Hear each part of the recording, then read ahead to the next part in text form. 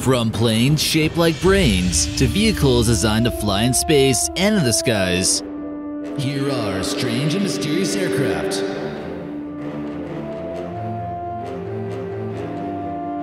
Hey guys, how's it going? I'm your host, American Eye, bringing to you another epic video. But first, a quick shout out goes to all you guys who left us some comments on our recent videos about the Freemasons. If you haven't seen already, be sure to check it out after watching this one leave us a comment in the comment section for your chance to get featured.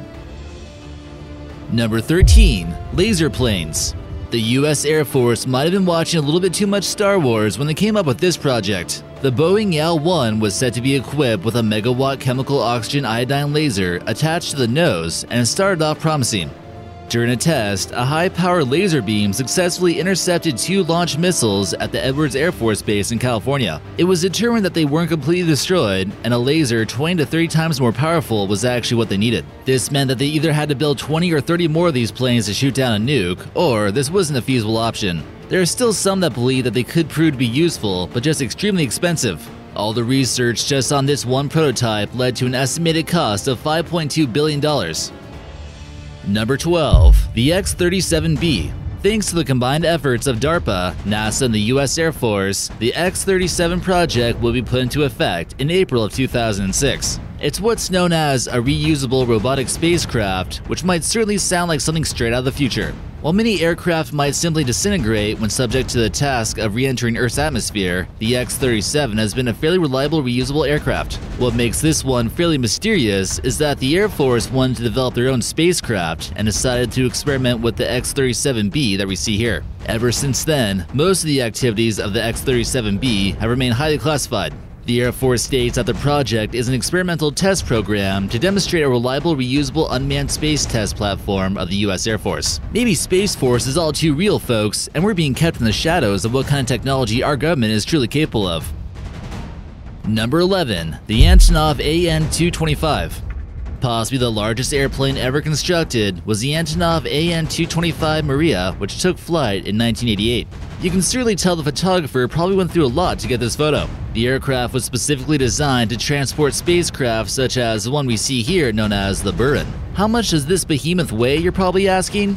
628,000 pounds without the spacecraft, and it can reach speeds of 525 miles an hour. Since the end of the Cold War, it's been used for various other reasons and it still has a very good potential as a transport vehicle. In some cases, the US government even used it to transport military supplies to the Middle East. You can probably imagine this thing eats up quite a bit of gas.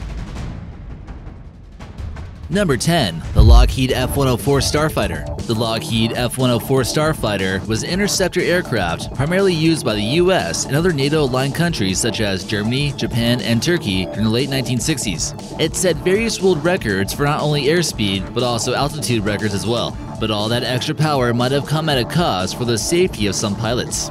A German Luftwaffe pilot had made several outspoken statements in opposition to the F-104. The airframe was constructed of stainless steel as well as titanium with a fuselage about two and a half times longer than the airplane's wingspan. Capable of reaching supersonic speeds, its main goal was to intercept enemy fighter planes quickly and effectively.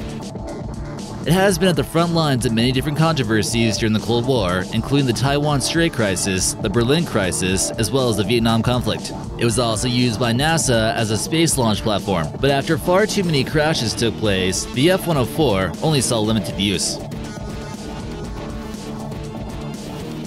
Number 9. The V-22 Osprey the government seems like they're starting to believe that the Osprey is a better alternative to the helicopter, and they aren't all afraid to put some money on it. It's not a plane or a helicopter actually, it's what's known as a tilt rotor aircraft, which is sort of both. The V-22 Ospreys cost about $72 million each, and the US is looking to build at least 400 of these things total.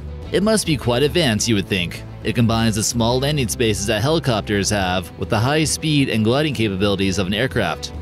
This makes them suitable to be deployed from aircraft carriers. They use a Rolls-Royce T406 engine that allows them to reach top speeds of 351 miles per hour. Maybe the military thinks the strange design will scare off the enemy soldiers, who knows. Number 8. The Lockheed Martin P791 This aircraft almost looks like a flying brain or something. This is actually considered a tri-hull shaped hybrid aircraft and is supported by an aerodynamic lift. This was designed by the US Army but was modified to equip more cargo and can lift up to 18,000 kilograms or 20 tons. Each one of these things would cost taxpayers $480 million. Let's hope they don't put this thing on the battlefield. It looks like it would be an easy headshot. It almost appears to be the perfect plane though to transport NFL teams.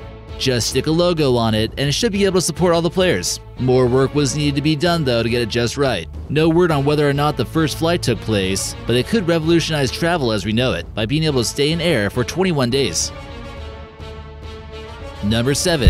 The Saab Viggen Fighter after being manufactured by the Swedish automobile company for 20 years, 329 were produced. It's considered to be an all-weather fighter interceptor aircraft. This means it can handle the intense snowstorms that are often found in Sweden. Many airplane enthusiasts would tell you that this jet is rather unique compared to others used by Western countries. Saab embraced a turbofan engine for their new multi-role attack reconnaissance. It's been touted for having excellent landing capabilities while displaying good fuel efficiency. The takeoff distance seems to be rather effective to the point where they can maybe take off from some kind of local street if it had to.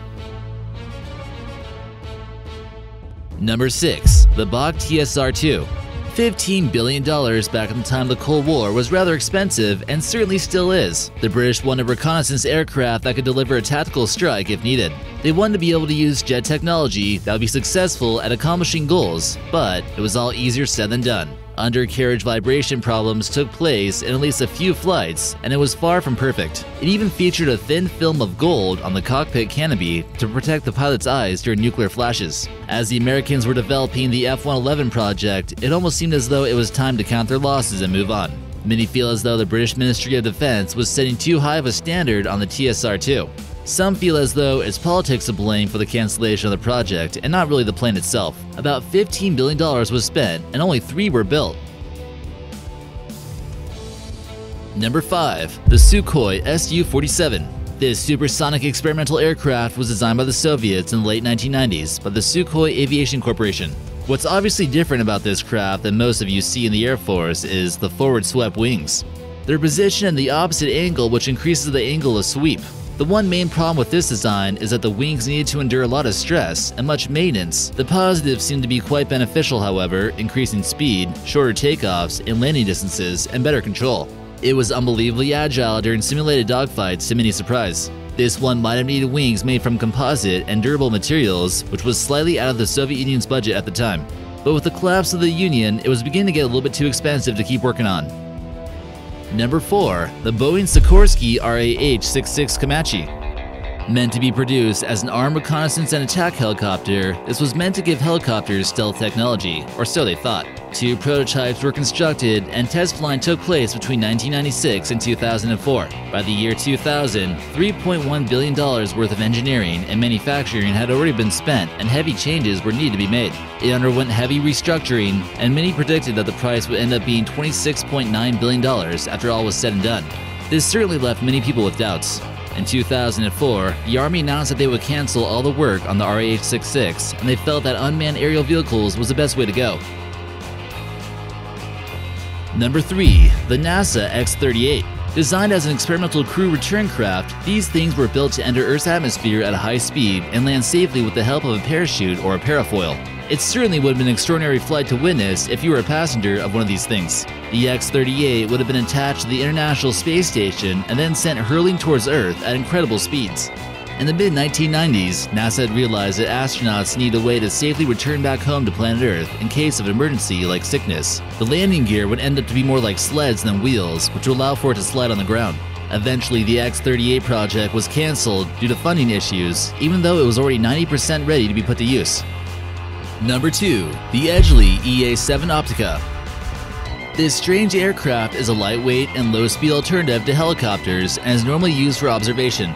The project for the Edgeley EA-7 Optica began in 1974 when Edgeley Company came up with a strange prototype and eventually private investors bought into the idea. It almost looks as if the cockpit is similar to the one you'll find on the helicopters and the rest of it is just kind of an airplane. With only 22 of them being constructed, these certainly haven't been mass produced or anything, but they seem like they would be a fairly cool way to get off the ground. It received a mixed review, with some critics calling it bug-eyed. And before we get to our number one, do you think the government could use this money spent on all this aircraft for better reasons? Let us know in the comments section your answer, and maybe we'll feature you in an upcoming video. And number 1. The Scale Composites White Knight. This bizarre plane was designed in 2007 to 2010 as a Stage 2 suborbital man launch system. The plane is multi operational but is often used at high altitudes. It was considered to be a mothership and would have a parasite aircraft on board, which would be detached at the right altitude.